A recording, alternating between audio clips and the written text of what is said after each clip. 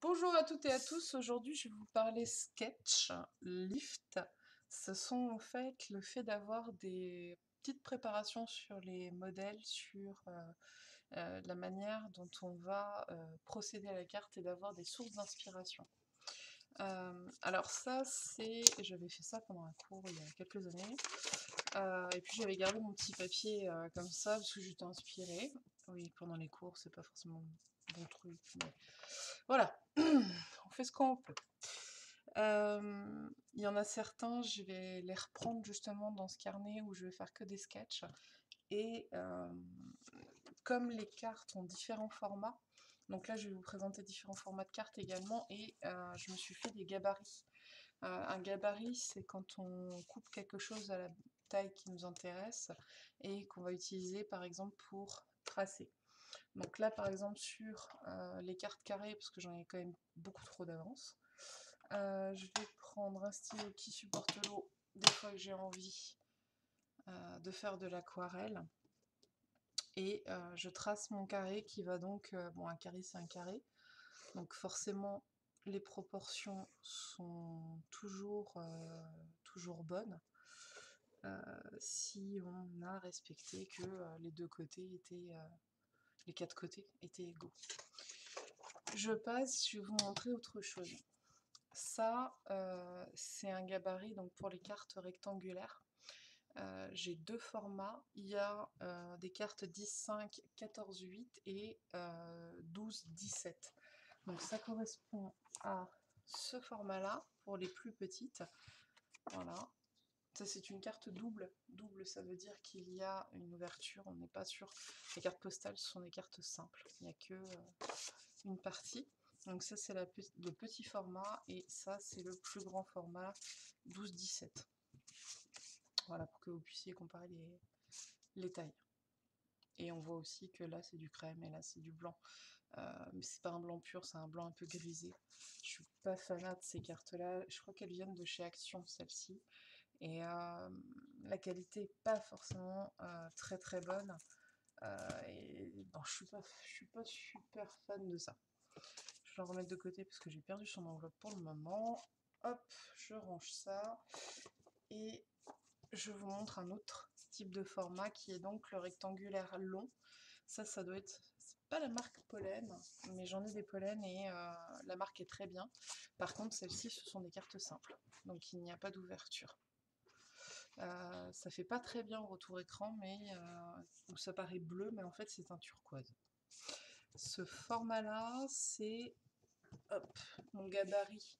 Donc vous voyez qu'il n'est pas euh, à la même taille, il est plus petit pour que ça puisse rentrer dans mon carnet, on ne rentre pas parfaitement. c'est une carte 10,621, donc aussi ça correspond au A4 plié en 3. Vous savez, les, tous les documents officiels, quasiment, on les reçoit sur euh, des enveloppes et des papiers de ce type, de ce type-là, et ça, ça correspond à un tiers de, A4. Voilà, donc ça peut être bien aussi d'avoir ça comme, euh, comme support, pourquoi pas, mais je, ne m'étais pas rendu compte que c'était des cartes simples et ça ne m'intéresse pas des masques. Ça m'embête même carrément. Et puis là, ce sont des enveloppes. Euh, mais j'avais pas vu qu'il n'y avait pas de base de carte dedans. Après, ceci dit, euh, c'est pas compliqué de faire une base de carte. Euh, il suffit de plier au milieu et puis si on veut une double hein, et de découper. Surtout si on a un massicot. Alors, théoriquement, théoriquement, il y en a plein qui y arrivent. Hein. on peut couper au ciseau. Personnellement, je suis incapable de couper des lignes droites au ciseau. Euh, malgré euh, des années et des années de pratique et d'entraînement. Donc, euh, j'ai recours au massicot et j'en suis très contente. Alors, un petit peu de mathématiques. Pas d'affolement, tout va bien, on se détend. C'est juste une règle de 3. moi, j'adorais les maths hein, quand j'étais jeune, ce qui est pas forcément autant le cas aujourd'hui, ça dépend si vous avez... Euh, hop là Est-ce que je peux zoomer? Non, toujours pas. Si vous avez par exemple une carte qui fait 10,5 euh, et que vous voulez que la largeur de votre carré, donc ça correspond à celle-ci, euh, de cartes, de, gabarit en fait, correspondent à 8 cm. Je me suis dit que c'était bien parce que ça faisait à peu près 10 la largeur. Je me suis j'ai un cm de chaque côté si je veux mettre des petites notes. Euh, ce que vous allez faire, c'est dire mon 18,5, je veux qu'il corresponde à un 8. Ma, euh, mon autre dimension de carte est de 14,8, euh, c'est celle-ci en fait de carte. Mon autre dimension est de 14,8. À quoi ça va correspondre? Et c'est vraiment, vraiment très simple. Il suffit de, poser ça à l'écrit, c'est tout simple. Et vous allez faire, euh, là donc on ne le sait pas au départ, je vais le cacher exprès. Et on va faire 14,8 x 8 divisé par le chiffre qui est tout seul. Et tada, on a le dernier. Je vais en faire un complet avec vous, je vais écrire plus gros et avec un, un stylo plus gros pour que vous voyez bien. Euh, ça sert aussi pour les recettes de cuisine. Très pratique. Super, c'est une recette pour 10. Euh, on est 4, je fais comment? Bon, alors euh, arrondissez à 5, ce sera plus facile. Vous diviserez tout par 2. mais bon, puis vous aurez un peu de reste. Mais l'idée générale, c'est ça. Si par exemple, j'ai un, volume pour une recette, un nombre de grammes, de litres, de je sais pas quoi, ou des centimètres pour la carterie, euh, qui est, on va dire, de, 8. Et je veux faire 2 euh, par, euh, par feuille, par exemple. Je veux, non, 8 c'est trop gros, je veux passer à un truc qui fait 4 cm de côté. Ok, votre truc, en fait, il fait, de départ, il fait 8 sur, je sais pas, on va dire 12, allez hop. Essaye de prendre des chiffres ronds, des chiffres pairs qui vont assez bien se répondre. Donc, j'aurais pu faire encore plus simple, mais bon, c'est pas grave. Ce qu'on va faire, c'est poser ça. Mon 12, il doit correspondre à quoi? On le voit hein, déjà la réponse parce que j'ai divisé par 2. Donc on sait très bien de tête que c'est un 6, mais euh, voilà 12 x 4, ça fait hop, 48. 8, on divise par 8, 6 x 8, 48. Tada Donc là, avec des chiffres très simples, on voyait bien qu'il fallait diviser par 2 euh, pour faire de 8 à 4 et de 12 à donc 6. Euh, mais les chiffres ne sont pas forcément toujours aussi simples. Euh, si c'est par exemple 250 euh, grammes, euh, c'est pas génial. Là, par exemple, je me trouvais avec du 10,5 qui devient du 8. moi, je fais pas ça de tête, hein, le rapport auquel ça correspond. Donc, je répète un petit peu la manip. Là, cette fois-ci, je vais vous mettre des, lettres comme on le fait généralement. À A correspond B. À C correspond mais D, mais qu'on ne connaît pas. On va faire ce qu'on connaît en multiplié, donc C fois B sur A. Là, ceci est un A, égale D.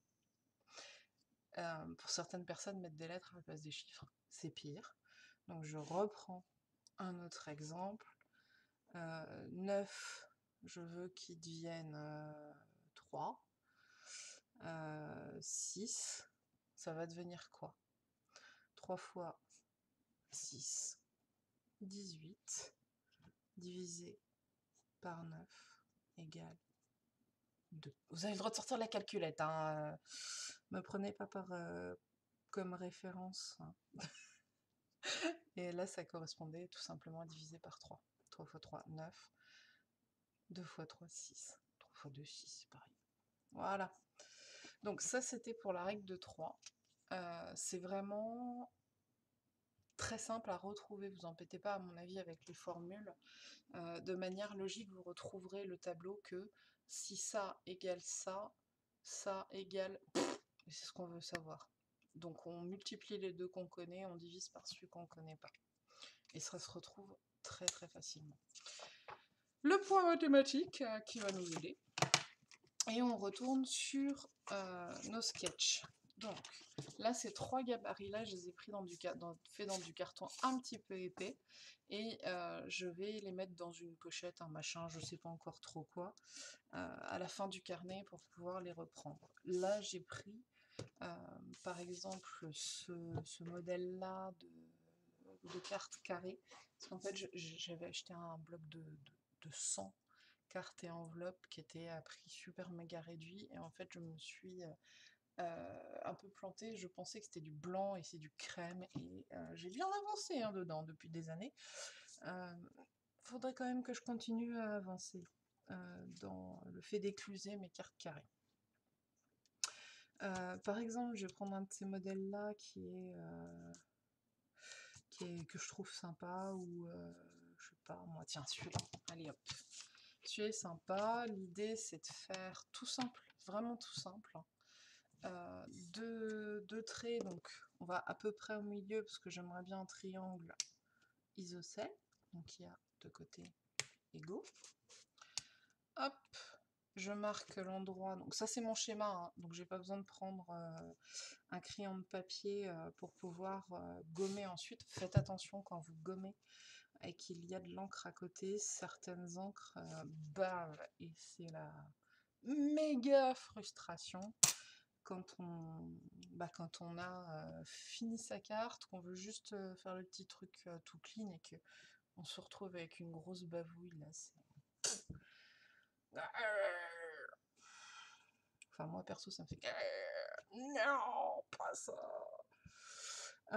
et l'idée donc c'était c'était ce dessin là, ce gribouillet là, j'avais mis du jaune, hein. les couleurs on s'en fout, c'est juste un sketch.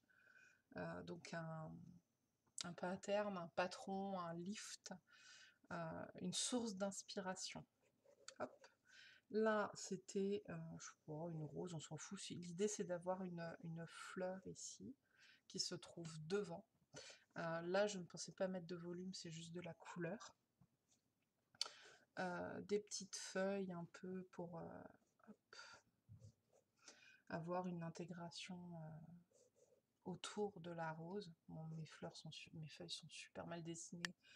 Euh, on s'en fout puisque a priori ce sera l'utilisation d'un tampon que j'ai déjà.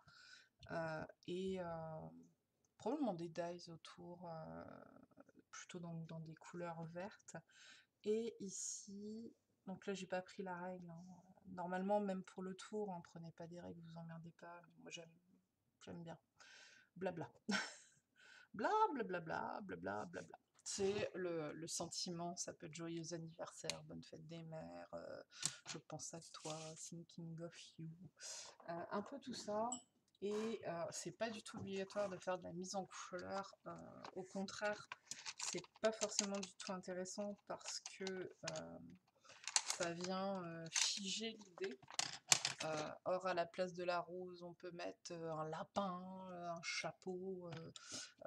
Oh, une tasse de thé, par exemple, ou autre.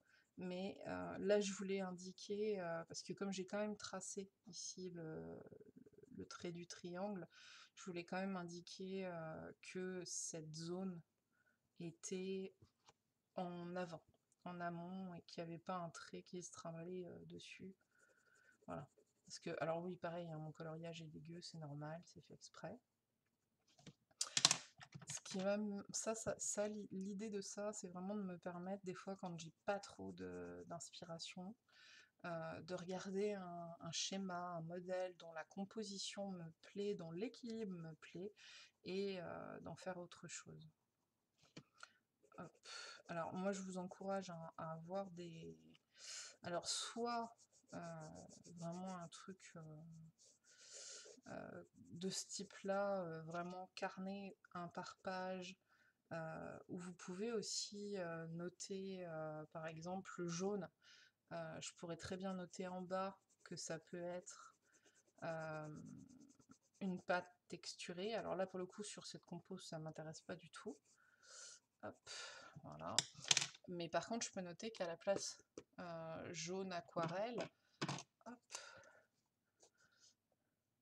je peux mettre par exemple aquarelle. Ça pourrait être de la gouache, de la, peinture acrylique, mais c'est pas des matériaux que j'aime travailler. ou papier à motif.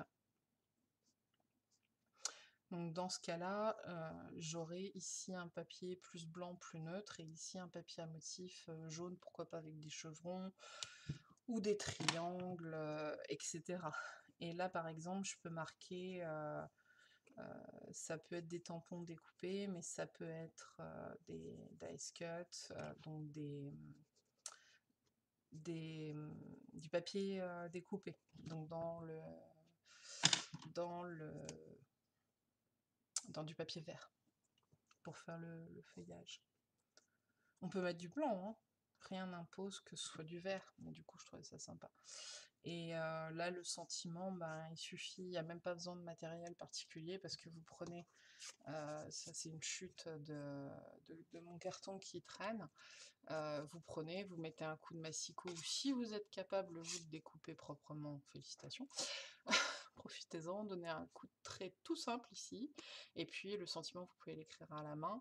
Euh, moi, j'aime pas trop mon écriture, je m'en fous quand c'est juste pour de l'écrit, mais pour les cartes, euh, je préfère mettre un, tampon, parce que j'ai tendance à écrire minuscule en fait, et...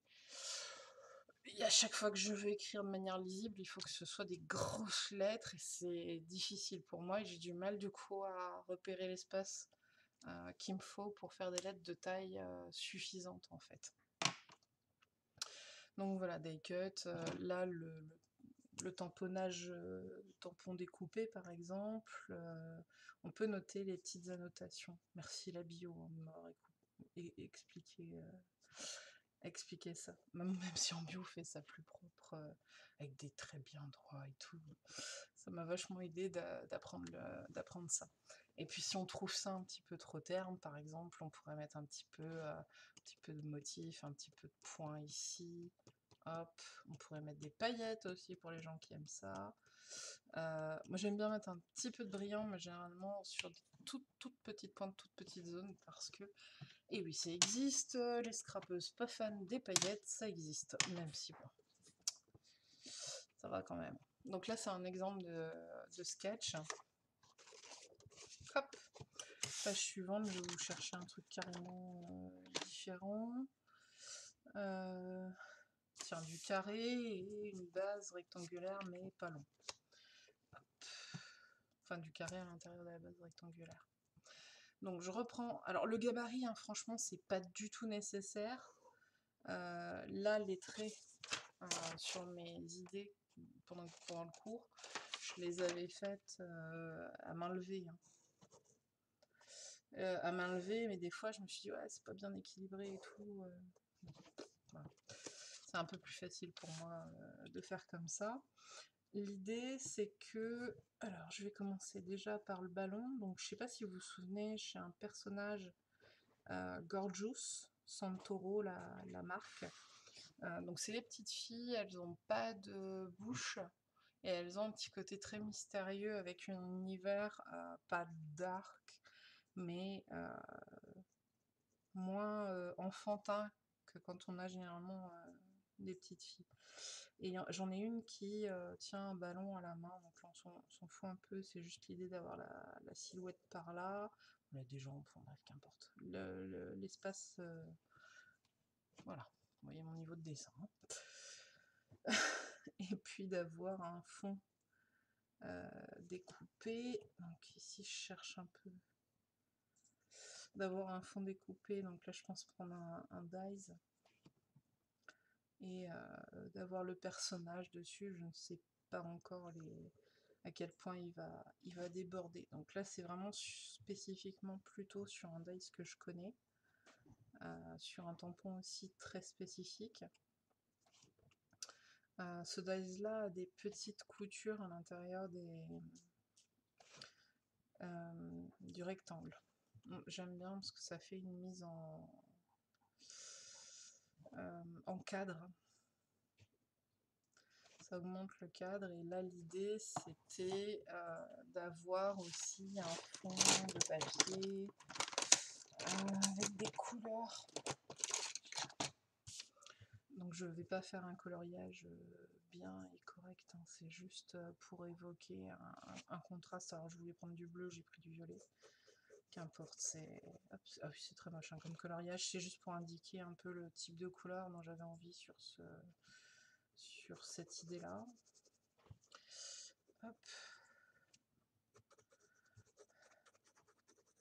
Voilà. Et puis euh, un petit contraste un peu plus euh, un peu plus fort avec un ballon rouge par exemple. Le personnage, on s'en fout. euh, par exemple du jaune, pourquoi pas, mais euh, c'était juste l'idée d'avoir les, formes. Et là, on voit qu'il y a un matage blanc autour, et euh, ce que j'aime bien, c'est d'avoir le ballon qui sort du cadre. Euh, je vais vous faire un troisième sketch. Donc celui-là, je vous préviens, il sera improvisé. parce que je n'avais pas prévu de travailler ce, ce format-là. Et là, on voit justement que j'ai un peu été enthousiaste euh, puisque ça déborde. Donc je vais juste noter l'idée. Je saurai que ça veut dire bord de carte. Hop, bord de carte. Et voilà. Comme souvent de toute façon, euh, j'ai un... J'aime bien laisser un petit tour. C'est pas un problème. Et là, l'idée... euh, Qu'est-ce que je peux faire par exemple? Tiens. On va prendre un- une règle et elle va représenter euh, par exemple un peu de, masking tape. Ça pourrait être euh, de la couleur à la place. Je vais marquer que c'est euh, du masking tape. Donc comme ça ici, je sais que j'ai des motifs. Et puis on va mettre par exemple un motif ici, donc partiellement sur le et puis un, ici un peu plus bas. Et puis on peut avoir aussi euh, quelques petites choses qui hop, qui viennent de derrière pour avoir un espace un peu moins vide. Donc ça peut être euh, euh, des fleurs par exemple euh, la lavande pourquoi pas. Des fleurs avec au bout de longues mais ça peut être aussi euh, donc tamponné ou dessiné, mais ça peut être aussi euh, des dies. Hop, un petit, euh, petit truc avec des hop, des petits machins comme ça, qu'importe. Et puis venir un peu occuper l'espace ici. Alors, je repasse juste un coup noir un peu plus intense, qui peut être aussi le matage euh, d'un- d'une des deux images. Et là, pareil, je peux mettre des couleurs, mais juste pour indiquer euh, quel carré est devant l'autre, parce que on pourrait mettre un coup de, de blanc, hein, si on voulait. hein, même si ça irait pas aussi, même un peu plus vite. Juste pour savoir que voilà, ces papiers-là, ils sont devant. Celui-là se retrouveront derrière. Par exemple. Et donc, quand vous êtes euh, en panne d'inspiration, vous pouvez euh, venir euh, jeter un petit coup d'œil et vous dire tiens, qu'est-ce que je pourrais, de quoi je pourrais partir comme, lift pour, pour faire euh, cette carte-là. Voilà, par exemple. Ben, J'espère que ça vous aura plu, peut-être aider, donner des idées pour euh, créer euh, des sketchs, des lifts pour vous. Et euh, si vous cherchez, vous en trouverez plein, plein, plein sur Internet. Voilà, bah, amusez-vous bien, créez bien, et puis bah, bonne semaine. Au revoir.